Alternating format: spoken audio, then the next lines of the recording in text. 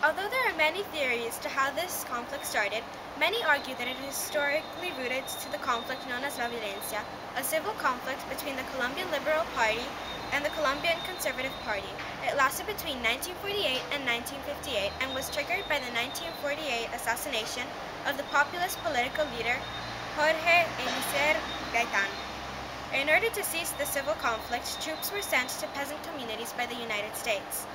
But the liberal and communist groups of Colombia reorganized into FARC, the Revolutionary Armed Forces of Colombia.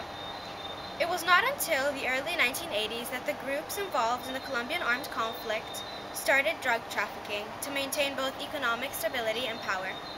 Drug trafficking is what keeps the Colombian armed conflict from ceasing. The Colombian armed conflict does not show any signs of ending. In the last few years, thousands have died and conflicts continue. Major events fuel the problem, such as kidnapping, deaths, and drug trafficking. In August 2010, Juan Manuel Santos was elected as president, and he said that he would continue the armed offensive against rebel, rebel movements.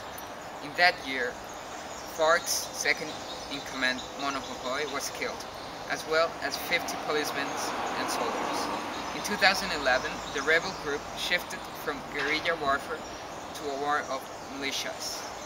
Now they are operating more in the civilization of Colombia and is using as a cover. Poverty and inequality are two of the many effects that the Colombian population is forced to undergo.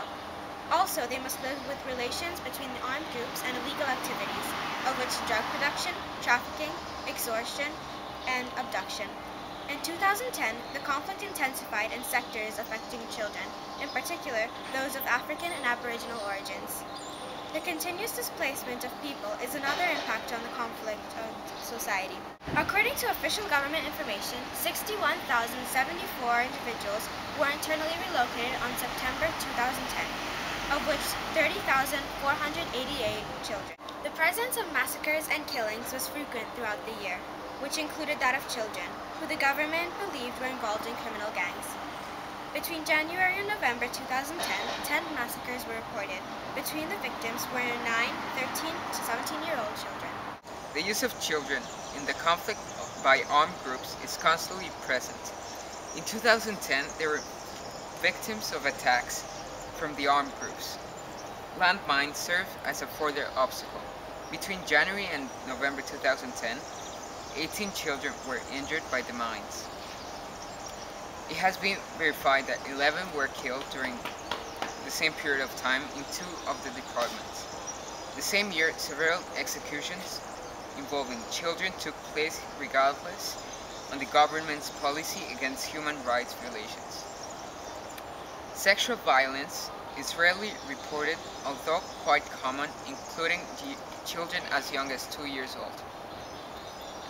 Separately, the Interinstitutional Committee for Justice and Peace has reported 677 cases of gender-based violence between 2006 and 2010.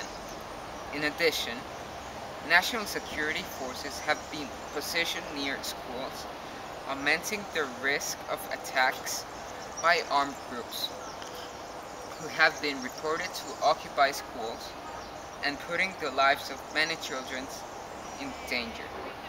Populations were not allowed to enter certain areas due to armed confrontation between several groups. This caused limited access to basic services, schools, food, and medical care. There are two major groups in the Colombian armed conflict.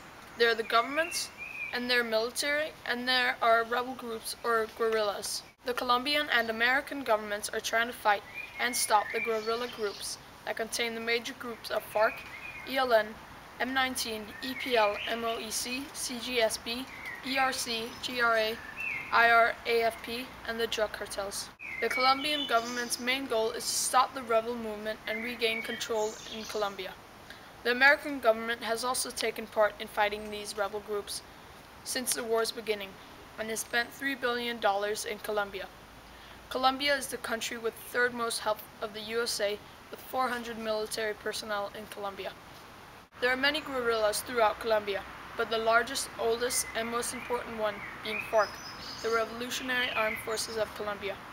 FARC originated during La Violencia, a time between 1948 and 1958, leaving over 200,000 people dead. The conflict was between the liberal and communist parties of Colombia, and a communist group of people fled from the countryside where the wars were largest. This group turned into the rebel group FARC, and to this day they fight for communism and, as InsightCrime.org writes, operate in different regions of the country, mainly in search for financial sources to fight their 40-year-old war against the government and maintain their army.